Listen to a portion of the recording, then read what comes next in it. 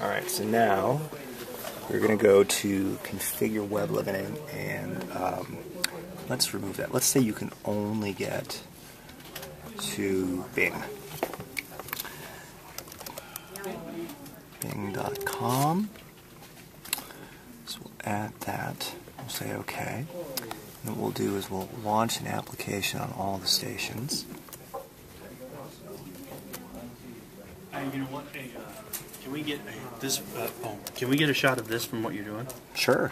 Uh, Andrew, now we're going to get a shot of him from uh, um, managing it. Okay. Huh? So we'll launch Bing.com for everybody. Got it. Get ready for the reaction. Oh, yeah.